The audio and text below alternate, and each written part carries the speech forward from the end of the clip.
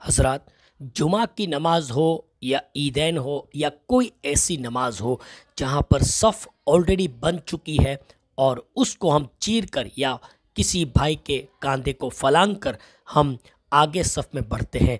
ये बहुत बड़ी सख्त वईद आई है अहादीस तैयबा में। देखे जैसे हम सफ़ लगी हुई है, मैं आपको एग्ज़ाम्पल के तौर पे बताता हूँ। जैसे यहाँ सफ़ लगी हुई है। अब किसी भाई को आगे जाना है तो वो क्या करेंगे? दो भाई बैठे हैं उनके कांधे को बिल्कुल चीर कर अलग करके फलांग लगाकर जो है वो आगे की सफ़ में बढ़ेंगे।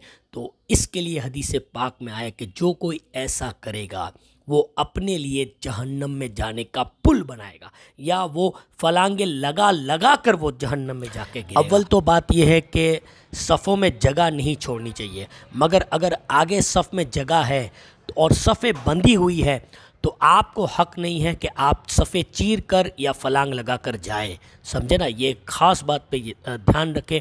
सरकार मुफ्ती आज़म रदी अल्लाह तु इस सदी के मुजद क्या एक अमल बताता हूँ? सरकार मुफ्ती आज़म एक मस्जिद में तशरीफ़ ले गए। जुमा का दिन था, सफ़े लगी हुई थी। इस सदी के मुजद नाइब गौस आज़म, हम शबी गौस आज़म, अल्लाह अकबर, बिल्कुल आखिर में जाके बैठे जब लोगों ने देखा कि अल्लाह अकबर, मुफ्ती आज़म पीछे जाके बिल्कुल आखिरी सफ़ में बैठे, लोग उठकर खड़े हो गए और हज़रत को जगा दी। मगर मुफ्ती आज़म का अमल क्या था? यही था कि जो हदीस पाक के अल्फाज है, उस पर अमल किया जाए। दोस्तों, यही तालीम होती है। हमने मशाइक में देखा है, उनकी सीरत के हसीन जलवों में पढ़ा है। तो आप अमल कीजिए दोस्तों। हरगिज़ हरगिज़ किसी मुसलमान भाई के कांधों पर फलांग लगा कर नहीं जाएँगे। ये स्टेटस बहुत अच्छा है। आप इस पैगाम को आम भी करेंगे और कभी ऐसा अमल नहीं करेंगे।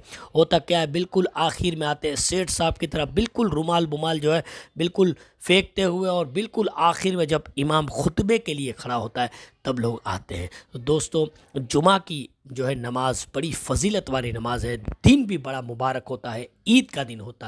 तो दोस्तों जुमा के दिन अपने कारोबार को छोड़ो और नमाज़ जुमा की अजान से पहले पहले जो कि कुरान का भी हुक्म है, आप अपने कारोबार को छोड़ें और नमाज़ के लिए हाजिर हों। अल्लाह ताला मुझे, आपको सबको अमल की तोफ़ी फ़रमाए।